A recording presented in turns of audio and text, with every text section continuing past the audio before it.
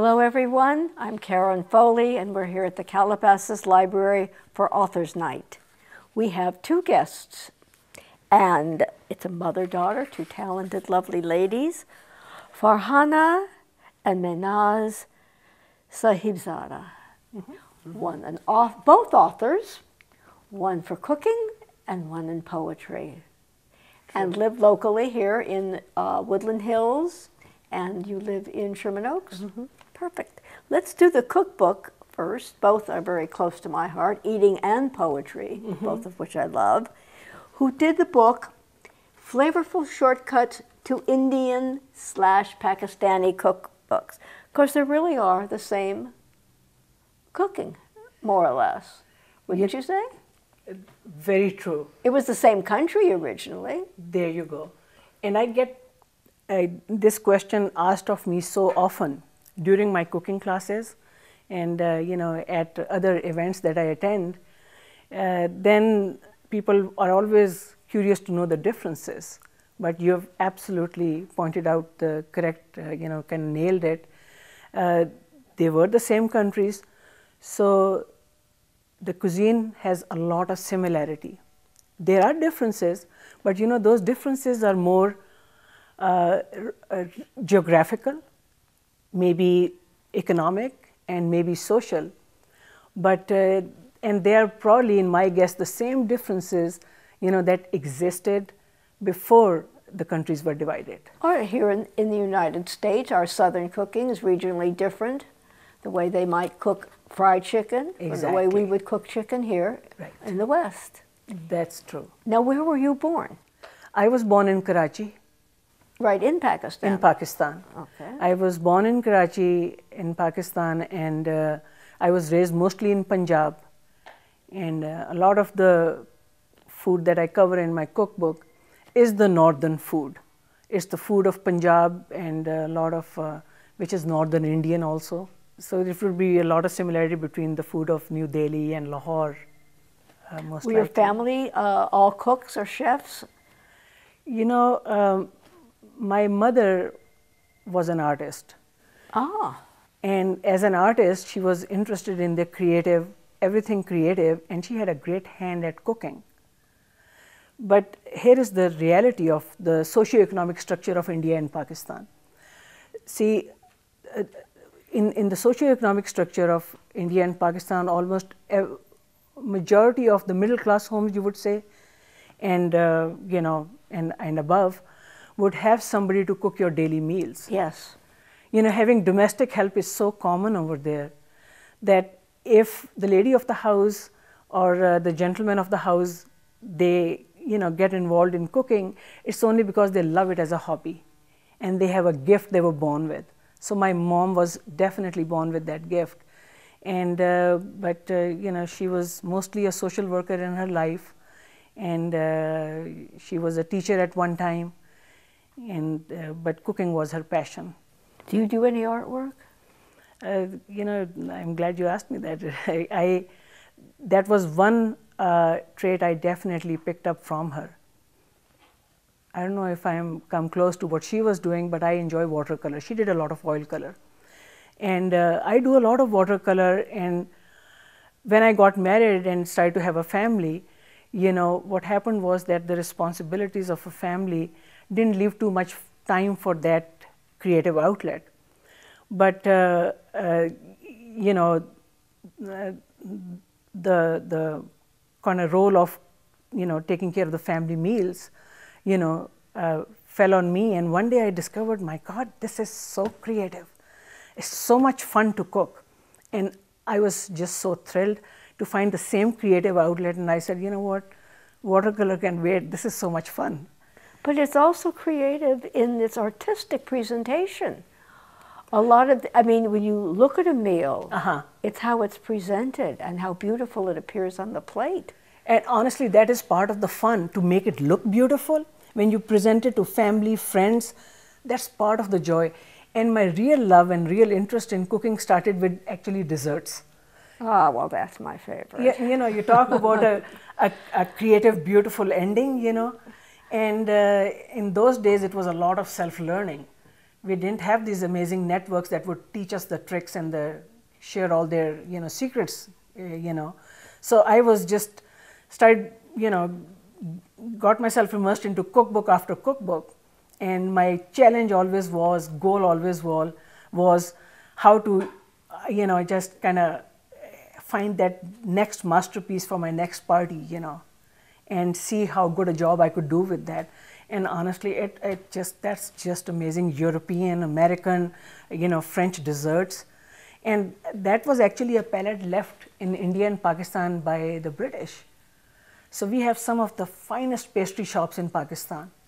So that interest you know is there for a reason you know and um, as soon as i discovered that my god i was just uh, uh, you know very much kind of immersed in that and then I started teaching cooking.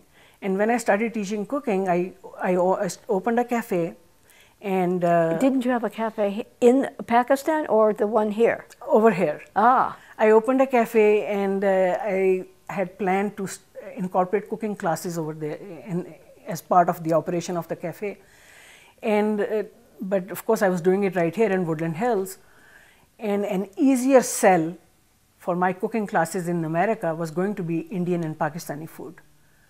Uh, that was my thought process. What was the name of your cafe? It was Cinnamon Sticks. Ah. It was like a cappuccino cafe. Yes, okay. And uh, you know, my husband always uh, wanted us to have a business. He was, he's a physician, but he was very intrigued in having a business. So, you know, I had listened to it over the years so many times from him and uh, I said, well, he has this des real desire for us to have a business. I said, look, we can do a business. It has to be something that I enjoy. So a few things on the list were out, you know, and uh, create something creative like food was going to going to be kind of exciting for me, you know. So what I did was I started. I opened it as a cappuccino cafe, and see a few day, few years before that, before we opened the cafe, we had lived in Saudi Arabia for a while. That was in the 80s, early 80s. With your daughter? With, with, with both daughters, yes. We thought it would be an exciting experience for them. We were in California, and my husband brought up the option. He said, Well, I have this opportunity coming up. How about if we move to Saudi Arabia? We'll be close to Pakistan, that's where we are from, and uh, you love to travel. So, this opportunity is going to give us a lot of time uh, and opportunities for travel as well. It'll be good for us, it'll be great for the kids, so why don't we go along with this option? So I, I was kind of reluctant with the idea in the beginning. Uh, you know, I'm a little bit of a free soul, and America spoiled me even more. You know, so I was scared of the confinement that might that you know being in that atmosphere might bring. Uh, but uh, the adventure was there, so I said, okay, let's let's let's do this. And in Saudi Arabia, and it turned out, I was, I you know had a great time over there. Didn't feel confined in the way I was scared I might, and uh, it was just a blast over there. And I we we saw I saw a lot of cappuccino houses over there, and at that time I thought, you know, America is a country of coffee drinkers so when I thought of a business, food related business, I automatically thought of a coffee house. And I incorporated Indian and Pakistani snacks, appetizers, meals, sandwiches, and created menu. Uh, I wanted the cafe to be different, so that's how I designed it. So you went from Saudi Arabia here, or did you take another country in before you settled in the United States? We were actually in California Oh. We were living in California when this opportunity for Saudi Arabia oh. came along. What made you move to California? You have two daughters. Does the other one cook or write poetry? Uh, she is. She's a dentist. Ah, okay. And uh, to my surprise, she's getting into cooking somewhat. She's see when I when I wrote the book, I uh, my recipes have had the you know the opportunity to be tested in a lot of settings in the schools where I teach the Arts Institute, for example, example, Southern California Culinary Institute, these students are enrolled in cooking classes. So those were some of the testing grounds and my classes that I teach at Whole Foods or uh, you know. and you teach here in Calabasas as well. I teach here in Calabasas also. So I had in, I had uh, had a lot of students, a lot of friends, including my daughter Mehnaz and uh, you know, and Noreen I, and some of their friends. I said, "You're going to be my test chefs." So I'm getting response from everyone, but from my youngest one. But uh, one day I did get a response. She said, "Mom, I." So that was actually a very valuable response to me in some ways. For somebody who was not too much into cooking, tried the some recipes and she was so excited with the results that she got that she sent me a text message the next day. She said, Mom, we tried aloo gobi from your book and we tried this recipe from the book and uh, your directions were easy to follow and the food came out so good. Uh, so getting feedback from all different sources, people that are very much into cooking and especially people that are not that much into cooking, that really gives you that feeling of confidence that you know what your content and directions and whatever you your your book is kind of hitting its mark that's what i wanted to happen that people that have never cooked either never cooked or have never tried indian before i wanted to simplify my directions and uh, simplify the recipes so that people would have success at their very first attempt well when we come back from our break we'll go into the book okay. and describe some of the recipes and some of the categories and the differences between the subtle differences between Indian and Pakistani cooking. Perfect. So stick with us and we'll come back in a few minutes.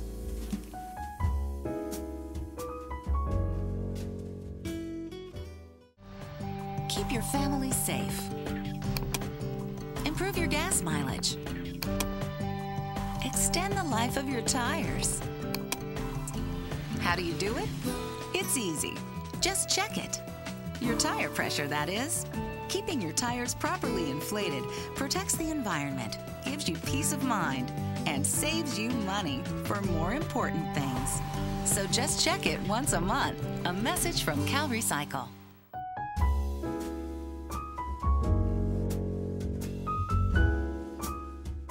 Welcome back to Author's Night with our two guests. Farhana and Mehnaz. Before we go into your book, okay. since your daughter, a very talented woman who is an English teacher. That's right, yeah. And a poet, has a wonderful poem that I particularly liked and noted that I wanted to hear uh-huh. spoken, is about food. Okay. It's called A Second Eulogy. If you wouldn't mind reading, I love the poetry. I'm, I'm a very big poet fan, poetry fan. Okay. A so second eulogy? Yes. Okay, a second eulogy. It was the saddest slice of banana cream pie because it tasted so good, just the right amount of salt and sweetness. We ate slowly after dinner, asked the waitress for coffee too, decaf because it was almost 10, because it was the last day of winter break. We talked about our plans for summer, but like teenagers discussing retirement, our voices did not carry sun. Instead, our forks dug eagerly into mirth. This is whipped cream as it should be, my husband said. The outer edge was layered with bananas. Every bite was a quick death, the end of something only beginning. We finished our pies down to the crust, our hands reluctant to let go of the forks. When I die, I said, pointing at the crumbs on my plate, bury me in these. My husband nodded. I pictured my desk at work buried in papers, six months of post its signaling my fate. Had I worn sweats, I might have ordered another slice. One didn't feel enough, was like a spotlight on a tomb. But that night, I couldn't make room for a second eulogy. There you go. Do you eat, eat your mother's desserts like this? Like a, did your mother make banana cream pie? She hasn't made banana cream pie recently, oh. but she ah. has made apple pie which I had a couple of weeks ago and it was amazing. But I will definitely say that my love for desserts is linked to her cooking growing up. I remember, especially when we were living in Saudi Arabia, as she talked about, my mom got into making cakes and decorating cakes. And they were very artistic. And you know, she has a background in art. And I know that that was a time I think of when my love for cakes and pies started. And I think that particular occasion was at Marie Callender's restaurant that I was writing about. But in a way, it's about all of those, you know, all of those moments growing up where I just almost greedily ate. I, I, I'm a big eater. I love to eat. So, Aren't we all? yeah. But I read every one of your poems and I was in the thrall of the book. I really love them. That's why I picked you. out a couple of particular interests to me. Now, you were born in Pakistan, correct? yeah, I was born in Lahore.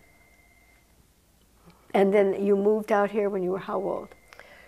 About a month after, we moved back to the States. I, mean, I guess my parents were already living here, so I moved out. And I grew up mostly in Southern California, except for the years we lived in Saudi Arabia. Do you go back I, all? I did while we were growing up. We went back pretty often, almost every year or two, for like the summer or over winter break. But I haven't been back now since 1998. So it's been a really long time. Now, you have a lot of awards for poetry. I was very impressed by them. Let me get them out. I don't want to overlook any of them. The PEN USA Award, Emerging Voices, Fellow in Poetry, and you write short stories as well. I have written a few short stories. It's The Alphabet poetry. Workshop was in an Ellery Queen magazine. The Alphabet Workbook, yeah. Was When did you start writing? I started writing in middle school. I had a English teacher in eighth grade who made us keep this year-long notebook, and we could write diary entries in it or short stories, descriptions, whatever. And I started writing poetry in the journal, and she would really encourage my writing, and I think that was really important to me. She was my first audience, really, and gave me a lot of positive feedback on the poetry. And then I continued through high school and college, and through my 20s. And then towards like my late 20s, I got interested in, you know, getting some of the work out there, or maybe typing it up, or thinking more critically about the artistry of writing poetry. It takes a lot to put yourself out Yeah, in def- print It does. and have everyone know your soul. Well- but it's the same thing in cooking, but you don't have to see the reactions necessarily. Right. You, you don't have to put your secrets down and your heart as much as you do in poetry. The good things, the bad things, Mm-hmm. the meaningful things. Yeah, it's definitely created some shift in my work, having some of it published now and out there because I had it hidden in boxes for a really long time. And I think there was always an imagined audience, but still having it out there, you get a sense of what people respond to, and having done public readings, you get a sense of how putting in a little humor, for instance, would be interesting. And I think that's been one of the shifts since I started to publish the work and participate in public readings is that it's become a little more audience oriented. How often do you write?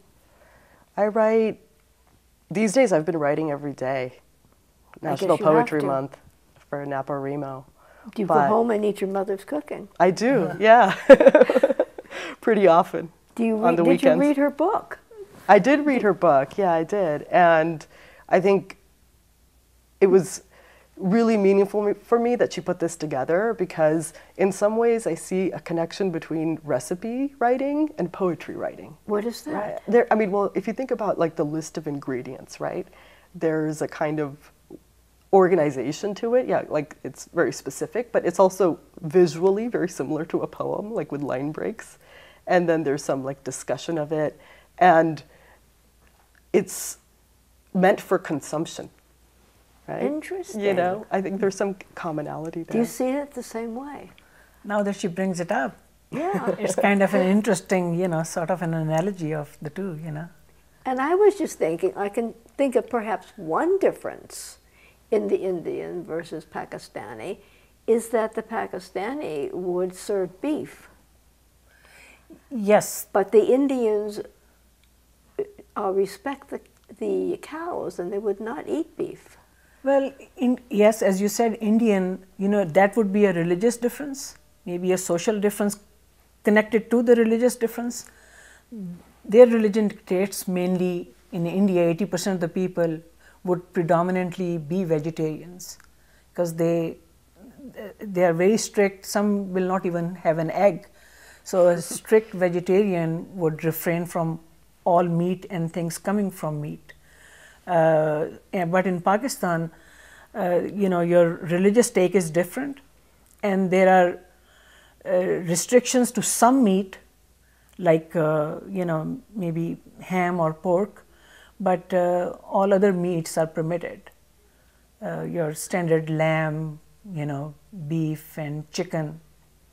So that is the reason the handling of recipes in both countries. If you see, if you talk about the difference today, what may have transpired since partition, it would be predominantly that. Chefs in India would be really a, quite a bit more skilled in handling of vegetable dishes, and I learn a lot from them. I go to restaurants over here if I want to get an Indian version and I know I am at the right place because they're going to show me something that I did not know before. And sure enough, so many times they do. And but if you want to go to meat cooking, go to a Pakistani restaurant. If you want to try something good in meat, you know, or a Pakistani home, because their experience would be so much deeper in handling meat. And those are some of the differences. But you've divided the book or put different chapters. What you have a vegetarian section, then there's meat cooking, and then there's fowl, poultry. Yes, for the ease of use, of course, you know, somebody wants to go into vegetables or, you know, or they want to look at grilled cooking. And desserts. Oh, and desserts. Forget the desserts. And barbecuing. Barbecuing, absolutely. In summer, I do a barbecue class, you know, and uh, uh, where I quite often try to invite a local restaurant to bring their tandoor over. And I've been able to pull it off in quite a few classes. So you have somebody who's working along with me. I'm showing the same recipe on the grill or even in a toaster oven.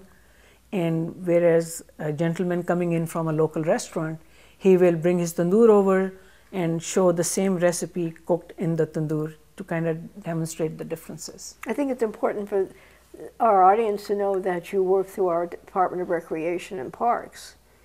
I, and, yes. That's where you do the cooking for Calabasas. Yes, I, I, we had this conversation with them very recently at De Anza Park. And uh, I was very curious to see how it would be go over there, and I, I was I was excited actually to do it. So we scheduled uh, in the last quarter a couple of classes, and uh, they were very happy with how they went and now we have quite a few more coming in this next quarter. And I, I understand a lot of people are afraid of the cooking because they feel it might be too spicy. Uh-huh. Is that true? Well, I was uh, doing a class one time and I said, What is the myth about Pakistani Indian food? And uh, this young kid was there and he said, It's spicy. And I said, Okay, what's the reality? He said, It's flavorful.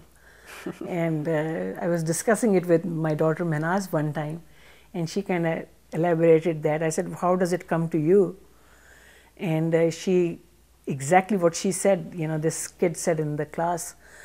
Yes, and that is exactly what I'm trying to bring out in my classes. That these spices, you can, there's a lot of flexibility in Indian and Pakistani cooking. You can adjust the spices, you can go overboard with them, but you can adjust them to your palate. And the only spice that gives it heat or makes it hot is your cayenne pepper. So in so many of the recipes, I'll use crushed red pepper because that gives you a little bit more control. And if you put a little bit less of cayenne pepper, uh, you know, you can adjust the intensity of the dish according to your own palate. So it's uh, unlike baking where you have to go with exact measures. Uh, Pakistani Indian cooking gives you a lot of room for uh, adjusting it to your taste. So, you know, that uh, actually, when Mehnaz first left for college, and uh, she would call me and uh, asking about different recipes, and her favorite is aloo, aloo spinach and potatoes. And uh, I remember her asking me, and the question continued to come up in my classes also. Uh, if she would find a cookbook, she would run the ingredients by me and talk about the directions and all of that and I would I would kind of tell her, no, forget about this ingredient. You don't need that. You don't need that. Simplify it, because sometimes she would sound, you know, kind of overwhelmed with a lot of ingredients listed in the recipe. And uh, I saw the same thing in my cooking classes, and I uh, that was another thing I wanted to do. You know what? It's so simple. Let's not complicate it. Less is more over here, you know, and just make it easy on ourselves. Sometimes I would hear stories in the classes. Uh, somebody would come very excited. You know, I was trying to cook a dessert and it called for rose water, and her neighbor, Indian or Pakistani, I advised her to go to the garden, pick up some roses, and make her own rose water. And I looked, I said, I'm tired hearing about it, so let's keep it simple, you know. you don't need to do that. Go, to, the, store. I, care, I keep rose water in the house constantly. Thank you so much. I use it for the skin. Ah, yes. And now, And see, put it for a cold drink. It's it is, isn't it refreshing? That's Instead amazing. of regular water, when you're making a dessert, a little rose water. honestly sometimes i put a little very careful amount in a in a almond lassi and it just gives it a new life you know it just my god you know you just have to know get used to the quantities that's all and uh, just keep it very simple and and uh, you know it's uh, it's not that complicated actually spices are your preservatives and you know they help you in so many different ways Well, we'll come back to that, and Wonderful. we'll do a recipe or two and another poem. So stick with us for another quick break.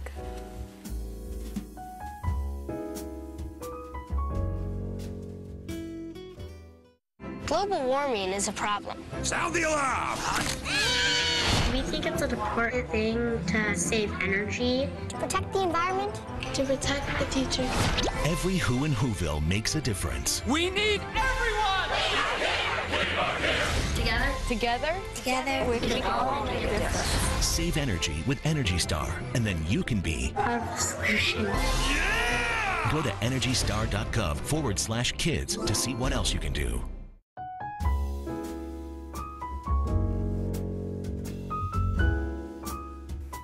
We're back for Author's Night, and during our break, I was mentioning to Mehnaz that I loved the poem Desi Noir. So if you wouldn't mind reading that to us, where, where did you write this? When did you write this? I wrote this poem maybe three or four years ago. I was taking a workshop through UCLA Extension called Poetry Goes to the Movies, um, writing the noir poem with Suzanne Lummis. She's a local poet. And so we watched some old noir films like Pick Up on South Street, LA Confidential. And I thought it'd be kind of interesting to write about a South Asian femme fatale. And I chose a wedding as the setting. So that's how this poem came. Okay, Desi Noir. She wasn't the childbearing type, even in her off white sari with silver embroidery, offering glasses of lassi lined on a tray, making small talk with the aunties. Yes, I've been putting almond oil in my hair, and no, I don't plan to visit Lahore this winter. Her lips narrowed when she smiled. She may have been 22 or younger. She may have been a schoolgirl once, storing her pencils in a case, sharpening each to a point, writing inside the margins of the page. But tonight, the wedding bubbling with cups of chai, she was a silhouette winking at the groom when the bride wasn't looking. After dinner, she disappeared into the back garden for a smoke. Sometimes she'd peer up at the sky suddenly, as though rattled by sounds of guns in the distance. Her eyes were cloudy, a hookah lounge for drifters. Her gaze feathered past the hills, reading the Los Angeles streetlights, the lampposts blinking gold and silver. The city could be a closed book, but she was hiding in the open, using the moon of her palm to smooth out wrinkles in her drape.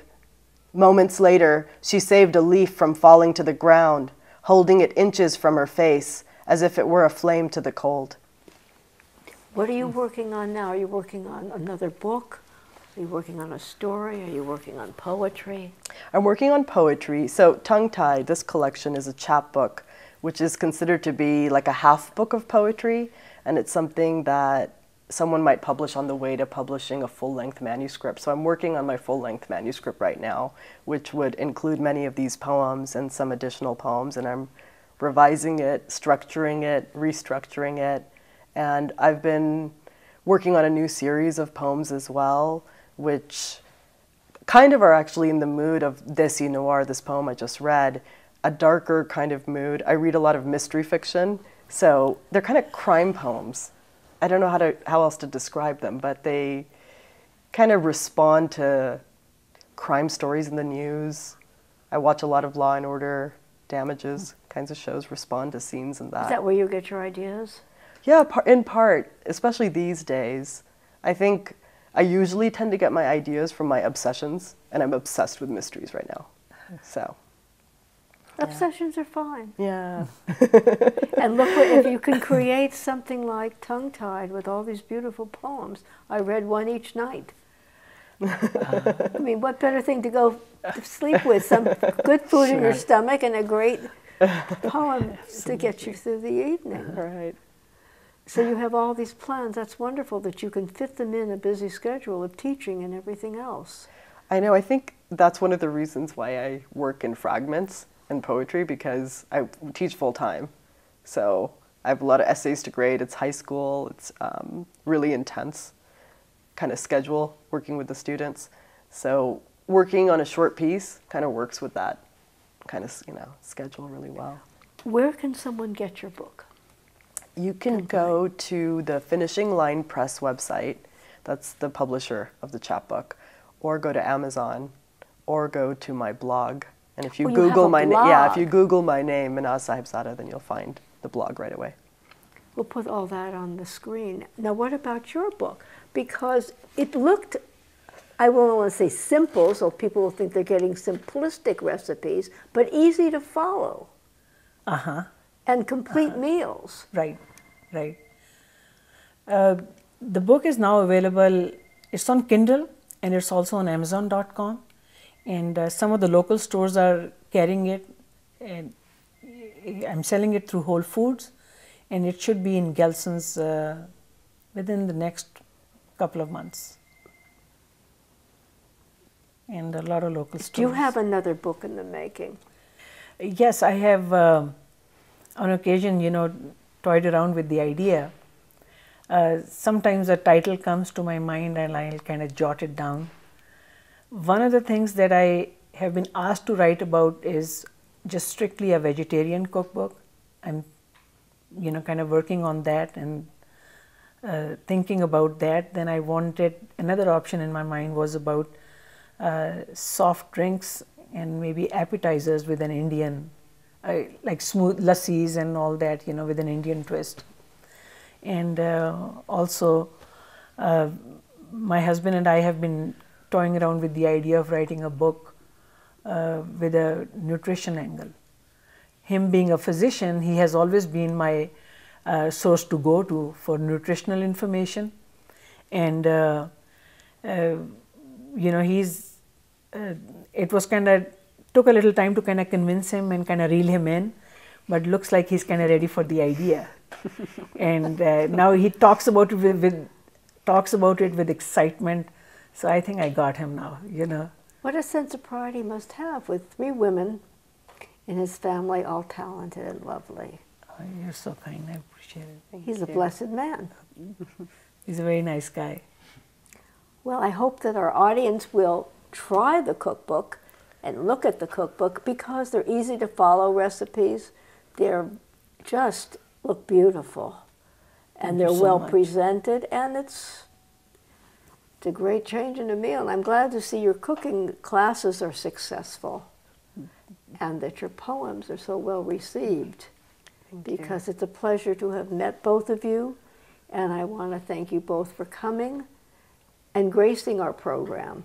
Do, you do honor to our city by coming and being part of our Authors Night. Thank you so Thank much you. for having us. Thank appreciate you. it so much. It is our pleasure, and I want to thank the Media Operations Department, the City of Calabasas, and the Calabasas Library.